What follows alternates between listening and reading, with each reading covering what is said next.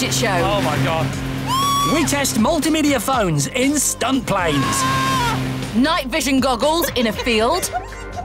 And sat navs in a rally car to discover how they perform under pressure. And I test one of the most extreme off road gadgets I've ever seen the ridiculous Dirt Surfer.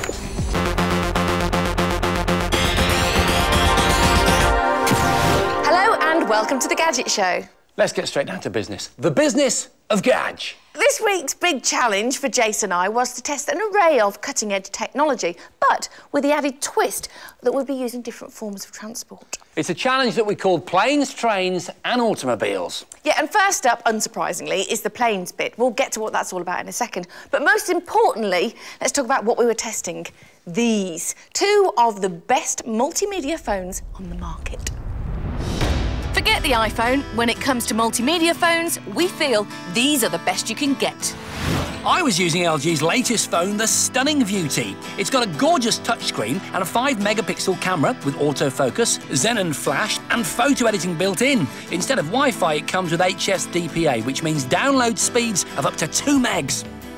But if there's a phone to beat it, it's this, my Nokia N82. I've been using it for a few months now and I absolutely love it. Its 5 megapixel camera is the best I've ever seen on a phone. It shoots video and it's got Wi-Fi. For our challenge, we went to Sywell Aerodrome just outside Northampton, home of the Blades aerial stunt display team. Look, if I can just contain my excitement long enough to actually speak, I will tell you that we're about to test the multimedia capabilities of our two phones by taking part in a half-hour aerial stunt display in those. The idea is that while we're up there, we become bloggers. So we're going to take photos, write text about what we're experiencing at that moment. We're then going to post it onto the Gadget Show website, real time. Yeah. And we've just got half an hour, don't forget to do it all in. It really is a great test of the multimedia functionality of our two handsets, both in terms of their connectivity and their usability. We were both already very familiar with our phones, and so once we'd slipped into our flight suits and practiced our parachute landings, ready, it was out to the planes and chocks away. We'd be judging the phones on ease of use, the quality of the pictures they produced, and just how easily they allowed us to get the stuff we needed up onto the web. And as soon as we were up in the air, our ex-Red Arrow pilots started doing their stuff, and our task began.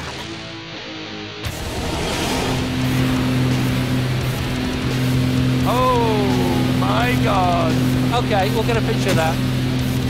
That is so scary. That's Jason above me, and he's upside down! Wow! This is wrong. First up, we had to use our phones to take some photos, a job me and the Viewty attacked with relish. It's one of those camera phones that you think is as much a camera as it is a phone. Oh my god, they've just spawned up. I've got to take a picture of this. Nokia have been producing excellent camera phones for years, and my N82 is no exception. As you can see, it's got Carl Zeiss optics and a 5 megapixel camera, so the pictures, the clarity of the pictures should be really good. The LG Viewty is packing 5 megapixels as well, but when you put the pictures from the two cameras side by side, it's clear that the Nokia's photos are better quality. So with our photos taken, the next task was to type some words and get blogging. Trying to do this in a plane being thrown around the sky was always going to test the usability of the phones to the max.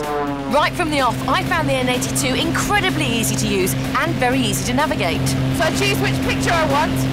There's a little envelope that asks me if I want to mail it. I click on that. I write some text. Fabulous. Whereas I was having a few problems with the T's touchscreen. Well, this keyboard proving actually quite tricky.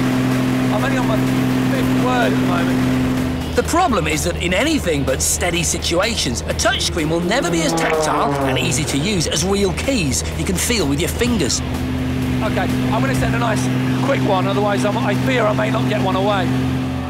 I got my blog done first, but within a few minutes, Jason had finished his, and both blogs were popping up on the Gadget Show website. Don't you just love tech? Oh my god, have I got? As the flying got even more extreme, we both moved on to testing the video capabilities of our phones. Okay. Ah. Oh. They said that the video quality of this phone is near DVD. That would be amazing if that was true, so I'm going to check it out. And I wasn't disappointed. The video was really sharp with accurate colours. The camera's really easy to operate. It's got 120 frame video, which they very thoughtfully enabled you to activate via a physical button on the side, so not a software touchscreen button. This allows you to produce glorious, super slow footage like this. Just look at those gorgeous shots. Really impressive. Overall, both phones produced excellent video pictures. Oh. My God! Unfortunately, despite spending hours in this very plane on a flight simulator, the real thing eventually proved too extreme for me. Smoke off, go. As Jason became reacquainted with his lunch, me and my N82 returned victorious to the ground. Throughout the task, it had produced the best pictures and had been by far the easiest and most intuitive to use. Wow! Oh, That was such an incredible experience. Absolutely it really was. phenomenal. Forget roller coasters. That is where it's at. Oh, I loved it. You loved every minute of it, didn't you? Yeah. I think it's fair to say that Suzi and her N82 won that first part of the challenge. Oh, yeah, but don't forget, that is only the first part of the challenge because it's planes, trains and automobiles, so we've still got second part and the third part Oh, still yeah. to come. OK, so don't count me out yet. You're going to see resurgent Jace in the latter part of this show. Yet we'll be testing out some impressive night vision goggles and entry-level in-car sat-navs. And later, I'll take to the grassy slopes on the Dirt Surfer, a gadget that promised to either give me a very big rush or break my bones. Time to return to this week's challenge planes, trains, and automobiles. So called because it involves planes, trains, and automobiles. Why? Because they're great places to test cutting edge gadgetry. Yet our first part of the challenge was to test multimedia phones whilst playing in stunt planes. And I won that part of the challenge with my Nokia N82. You certainly did, Suze. And after I'd recovered and had a lie down for, you know, a couple of hours, uh, we were ready for part two of the challenge, which we were told involved train spotting. Yeah. But because this is the Gadget Show, we knew it was going to be a bit more than sitting on the platform of a station with an anorak eating sandwiches watching locomotives go by. You say that as if it's wrong. In fact, this task took place in the dark, and the trains we had to spot were seven toy trains, all hidden around a field. To spot them, we would be using night vision goggles, and finding tiny trains would test just how good they were. Amazingly, you can get a really good pair of night vision goggles now for just a few hundred quid. But there are a few on the market. So if you do want a pair, and I know that you do, which ones should you go for?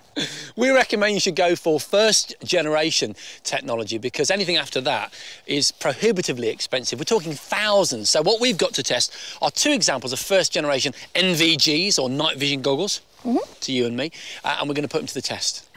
I'm testing the brand new Cobra Storm Pros. With a very tough all-metal body shell, they're built to operate in low light, but have a short-range infrared illuminator built in to help in total darkness. There's no magnification, so they don't change perspective, and that should allow me to move around easily. I've got the even cheaper Yukon Tracker NVGs. They're a bit bigger than Suzi's, but they have an easy grip rubberized casing and they're water resistant. Like the Cobras, they've also got an infrared illuminator and don't magnify what you see. So we are standing in a very large dark field. Uh, over here is a miniature train with a train driver and the lovely Amy on the back. Now Amy is going to be holding up names or numbers on a little placard. Those names and numbers correspond to little miniature toy trains that are down there sitting on straw bales. We've got to find as many as we can and bring them back here. Whoever brings back the most, obviously, is wearing the best night vision goggles. So, with our goggles powered up and all the cameras filming us switched to night vision, we were ready for the off. Go train. Three, two, one, go! So, number 6291 was the first toy train we had to find. This is a great test of these NVGs because to win, not only will we need to be able to move freely and easily around the field, but we'd also need to read some very small writing on some very small trains. If either of these sets of goggles were just showy tat, we'd soon find out. No, that's not what I want. I want 6291. And right from the start, we were both having problems with focusing.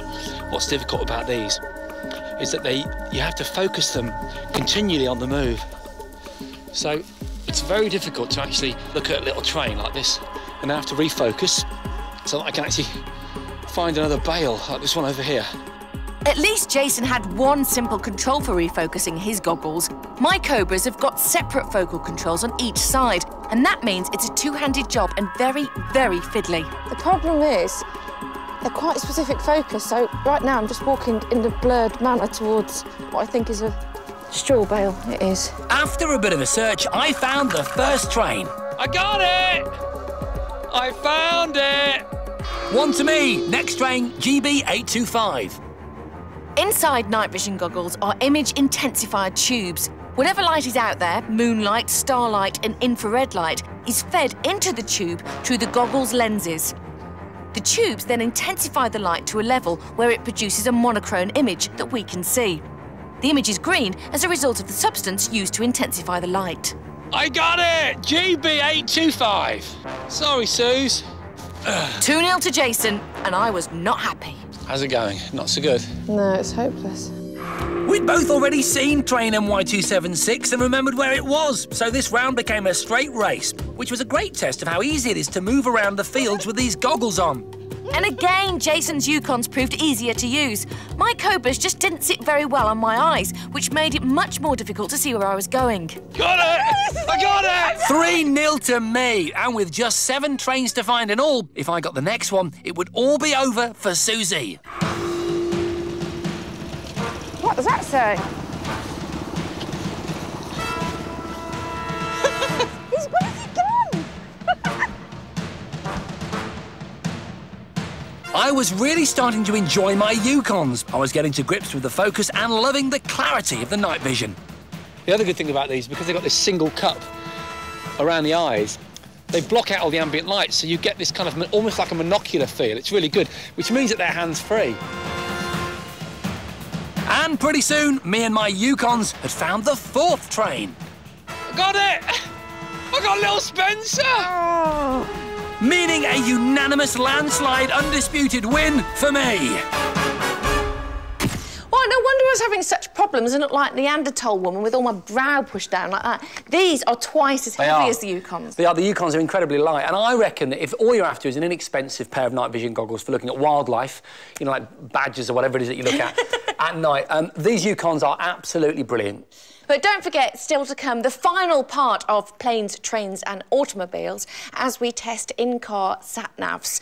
We're going to go very fast round a rally track to see how easy they are to programme. Right now, though, it's time for this week's focus group. Each week on the focus group, Jon, Jason, and I present the best gadgets that we can find in a particular category to our focus group, and they tell us which one they like the best. Now, this week, I think it's fair to say that we have really excelled ourselves. Definitely. We've found the most amazing ways of controlling your computer, and our gang today is made up of business and IT and electronic experts. And Jon, you're up first.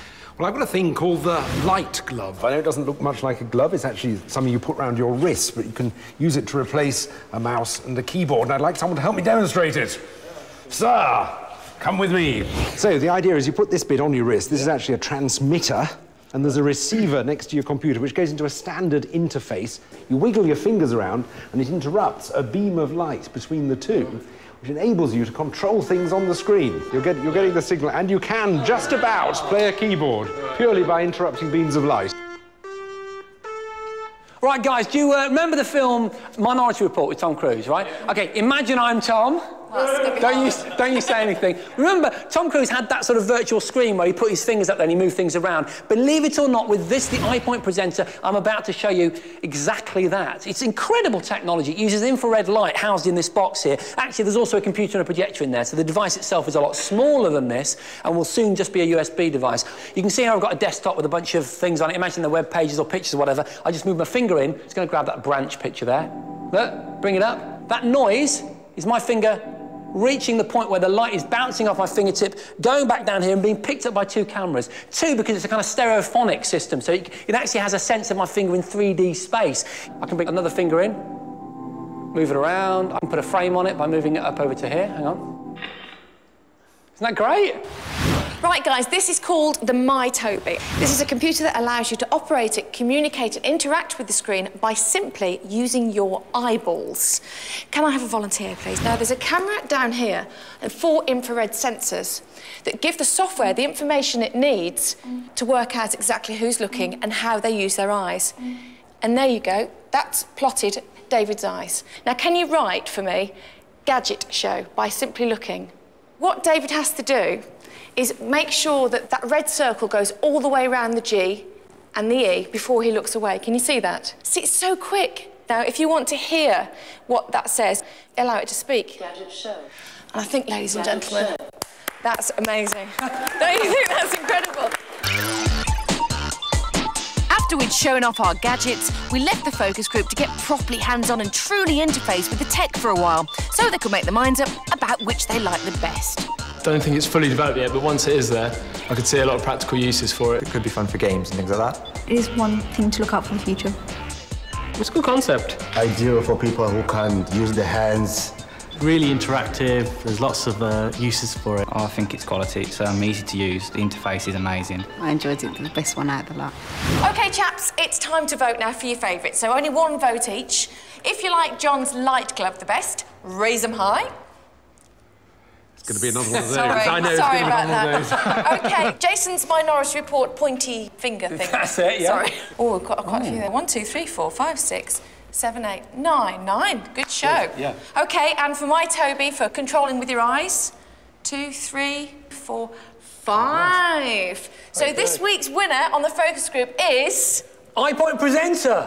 All right. It's going to try and just turn the volume up on YouTube. Stop controlling me. Hi. you made me do it. Right, time for another break now, but after that... Suzi and Jon compile our list of the top five office warfare gadgets you can buy. And our Jason test drives the very cool Dirt Surfer.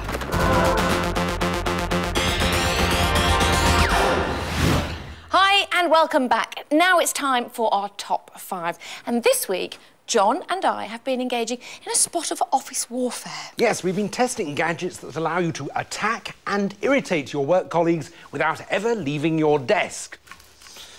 Mostly by firing stuff at them. So sit back and enjoy our top five office warfare gadgets. Jon and I gathered together an enormous variety of office warfare gadgets to put to the test. Stuff specifically designed to be fired or lobbed from desk to desk. Like that. From simple looking bricks to top of the range USB missile launchers, the aim of them all is simple to let you attack and irritate any work colleagues within range. Right, our first test is an essential one. It's about range. We need to know just how far our gadgets can fire their payload. Let's be honest. If you can't hit the person on the other side of the office, then there's really no point. So, in this hmm. office, Jon's going to stand in this corner. Yes. OK, and then he's going to fire the gadget over to this corner, where I'm going to stand and observe and not be fired at, Jon. No. And the ones that don't hit this wall won't make it through to the next round. So hmm. this is about how far they can go. OK, ready? Right. Go. Yep. We took it in turns to fire each of our 18 gadgets across the room. Ooh, easy. And it soon became clear that the simpler, more traditional weapons were more effective than some of their high-tech rivals. Aim. Fire.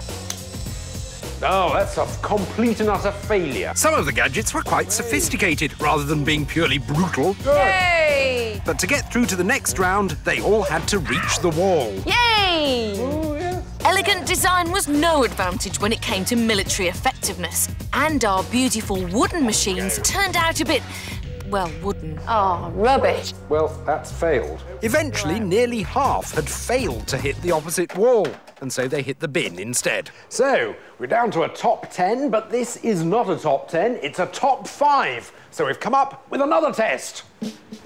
Accuracy. Our second elimination round was all about hitting the target. Weapons that miss are pointless, and you certainly wouldn't want to be so way off that you hit the boss and got sacked. Oh, that's pathetic, isn't it? That was here. In our test, if we managed to score a direct bullseye, then we scored three points. Bullseye. Two points were awarded for striking the outer circle. And if we hit anywhere else on the target, we got one point. Ah.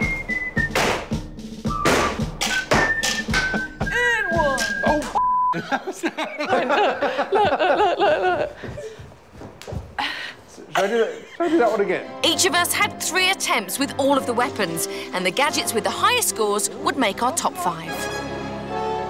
Once again, our more technically advanced gadgets proved to be less accurate than their simpler counterparts. Yay! yeah. Then, once all the weapons had been tried and tested, their scores were totted up, and the five that had made the least impact on our target were consigned to the bin of history. So we found our top five office warfare gadgets, but now we need to know which order they come in. So to our final test. And I'm sorry, Jon, but this is all about pain and annoyance. Ready? Yes. Ugh. Ow. Ow.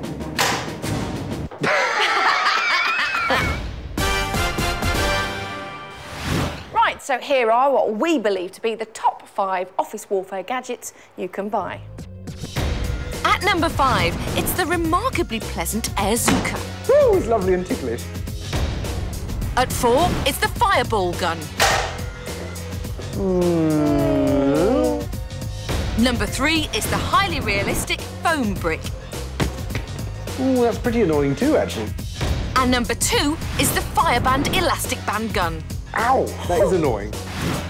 But at number one, our most annoying and painful office warfare gadget is the crossbow. Ow! Ooh, blimey, that does hurt, that. I'm really sorry. I never realised that was such a good shot. I am sorry, Jon, because it was quite painful, wasn't Yes, I, it? I haven't worked in an office for a few years now. I had no idea it could be so hazardous. I've never worked in an office, but it would be hazardous, wouldn't it, if you worked in an office with someone like him?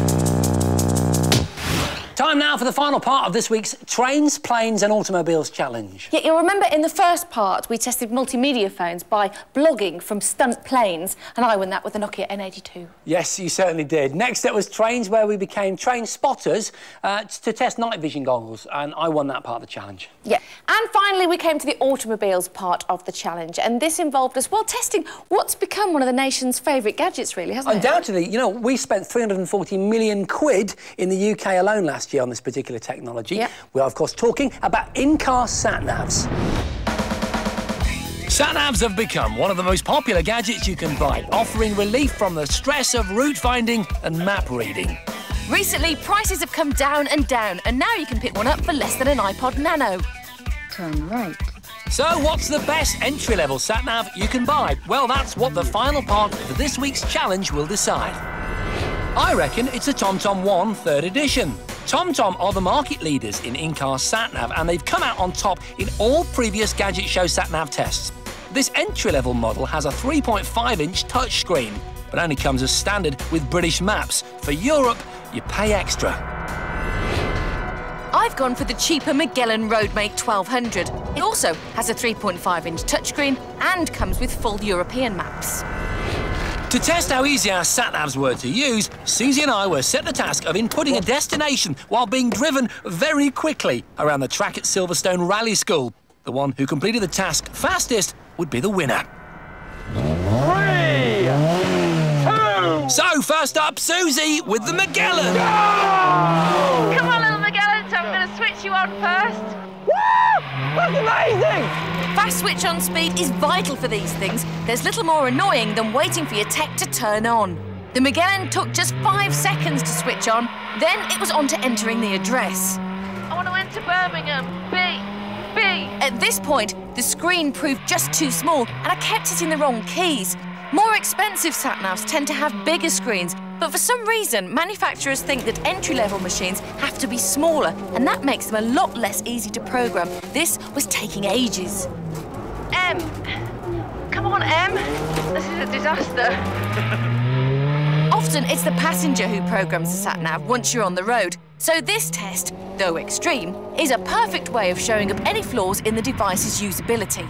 One big plus for the Magellan was how clear the screen stayed all the way around, despite some very bright sunlight. Birmingham. Thank God for that.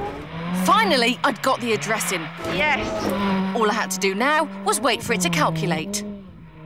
Come on, calculate. Come on. This is ridiculous. Right, stop. Is that it? Wow, that's the most fun I've had with a sat nav in my life. It had taken Suzi two minutes and six seconds, and she'd stopped 20 metres shy of the start-finish line.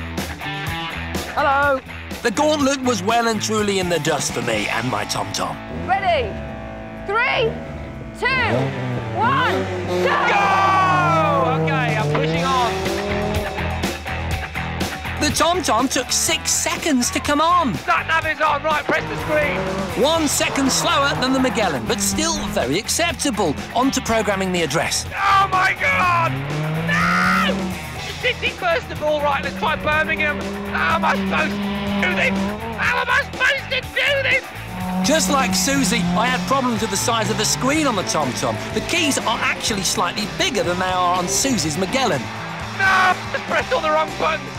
But in the bright sun, the screen was more tricky to read than Suzi's, and that was causing me big, big problems. No! I don't believe it. The oh my God! Oh, M. Yes, Birmingham. Praise the Lord. I'm into Birmingham. Where am I going? I finally got the address in, 30 metres short of where Suzi had stopped, but I still had to wait for the processing. This was going to be very tight. Buffering. You know there's a forest there, don't you? I love the woodland creatures, but I don't want to meet any right now. Buffering, I know, she's beating me. I know she's beating me already. Stop! I'd lost. It had taken a whole 10 seconds longer than Suzi to get my TomTom programmed. Oh Beaten! Beaten! Beaten! Victor! To a pulp! Victor! By the Victor! Perry! So, me and my Magellan won the first part of the challenge, but now we're going out onto the public roads to see which sat nav is best at guiding us to our destination. Are you ready in the blustery wind? I'm ready. Come on then. The rules were simple. This was a straight race from Silverstone to the Gadget Show studios in Birmingham. A journey of just over 60 miles. We had to stick to the speed limits, observe all the laws of the road, and crucially, only go where our sat navs told us to go. Are you ready? Yeah, you ready? Yeah, I just said I'm ready. All right, well, let's go then. Oh! Right from the off, our sat navs chose different routes. And before I'd even gone a mile, my Magellan had got me confused. While on the screen the arrow said I had to go right, the voice was telling me something different. Bear left. It was telling me to keep left. So I did, and then by the time it's almost turned right, I'd already gone into that left-hand lane. It was too late. Now I'm on the wrong dual carriageway. The Magellan did recalculate very quickly, though, and told me I'd have to make a U-turn after a couple of miles. Great! Five minutes wasted, and I was still less than a mile from Silverstone. Suzi going the wrong way meant that she was now going the same way as me. The right way, according to my TomTom, which was giving me clear and concise instructions. After a couple of minutes, I was making my U-turn at the next junction on the dual carriageway, and that, it appears, confused the hell out of Jason. There she goes. That doesn't bode well, does it? Where's she gone then? Our sat navs clearly had different routes in mind for us. This was going to be a very interesting race. My Magellan was taking me up the M1 onto the M6 and down through Birmingham from the north. Whereas my TomTom was taking me up the M40, onto the M42, and then into Birmingham from the south. It was going to be tight. That's better, isn't it? It has to be said that for the rest of the race, both sat navs performed perfectly. Both screens were clear and easy to see, and all the instructions were spot on. So in 1.1 miles, I'm turning off for the M6 to go towards the sparkling, glittering metropolis that is Birmingham. After the best part of an hour, we were both in Birmingham traffic. It was very close, but because we were approaching the finish from opposite directions, neither of us had any idea how the other was doing. We're very near now. We're very near. Come on, Baz, shift it. Truth. Right, then you have reached your destination. Oh, no, look, there's a red light. No! Yay! what took you? What took you? Yay! Oh. The Magellan. Me and my Magellan won the challenge. Do you know what? I, I just got to say, I was right behind you, wasn't I, when you pulled into that car park at the end? Yeah, all right, he was. I Pretty mean, close There was a me. meter behind us, and your Magellan did make a mistake, whereas the, the Tom didn't. Well, it made a small mistake, but recalculated very quickly. OK. I arrived at the car park first. Yeah. And don't forget, it was quicker to programming while we were rallying. Should we call it a draw? I think that's fair, actually. Yeah, it is, because we would both recommend these entry-level sat-navs, wouldn't we? Both, they're both really good Yeah. and both little great. Time for a break now, after which you'll see me, a great big hill, and this ridiculous piece of technology.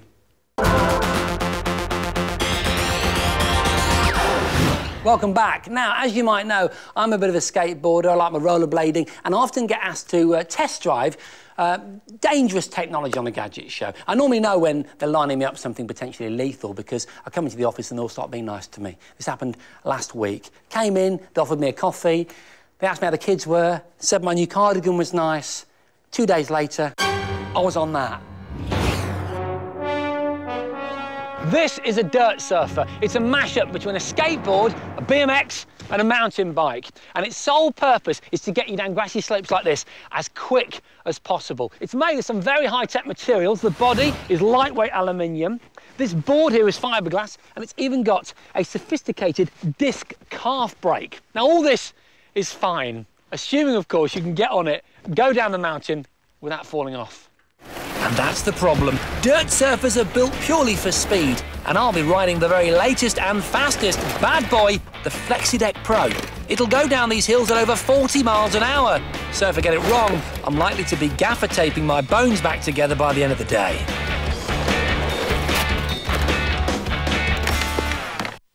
The ultimate test of a dirt surfer's talent is to ride this awesome mogul field, packed with bumps, jumps and stuff designed to push your skills to the limit. But before I was allowed anywhere near that, I first had to prove I can actually stand up on the thing. Then I'd need to prove I could handle hurtling down the 150-metre hill on it at speed. My teacher and judge would be dirt surfing expert, Andy Packer. How's things? All right? Yeah, I'm good. Looking I'm forward fantastic. to it. I'm just hoping that I don't look like an idiot. It's the same as riding a bike without your hands on the handlebar, Oh, okay? cool, all right. The more speed it holds, the, the easier it's going to be to stay on. I'm going to need you to put your right foot into this strap, all right? Okay, got it. Now, you're going to push the board like a skateboard, okay? Right. You're going to need to take about three or four strides with it. Yeah. Get a little bit of momentum behind you. Yeah. And then you're going to have to get this foot into that strap as accurately as you can, oh, all right? That's the hardest bit. So, are you up for it? I'm, I'm, I am so up for it, mate. Good stuff. Amazingly, and I promise you, I haven't cut out 18 shots of me falling over and looking like a prat, I actually got it right the very first time. Top stuff, well done, Jason. Hooray! hey, how about that? Spot on, first work, time. man. Good work. I proved my credentials to Andy, and he said I could move straight on to the big slope. You're joking me. We'll give it a go, mate. Like I oh said. my God, this is ridiculous. What am I doing? Have you seen the state of that slope? Okay, this is it, Jason. Top of the hill, mate. Okay, go for it, Jason. Keep those eyes up, mate. Keep those knees bent. Sorry, I didn't hear you. I just thought I'd get off and. Attempt number two. Balls out. Here we go. Oh. OK, it's a slow process. Attempt number three. More of a gradual turn, Jason. OK. Yeah. Yay! I got it! And as I gained speed, the rest of the dirt surfers joined me on the slope. Woo! This was getting fun. Yay! I was doing 37 miles an hour, but it felt like 137. Awesome speed! Ah! Woo! That was just so cool! I was feeling confident, and Andy reckoned I was ready for the big test. They call it the Border Cross Hill. I call it the really scary bumpy slope where I thought I was going to die hill. Ah, man, just lost my ball. Completely lost my balls. Not want to do it. I'd already achieved more than anybody expected of me. I just haven't got the bottle. This seemed utterly insane.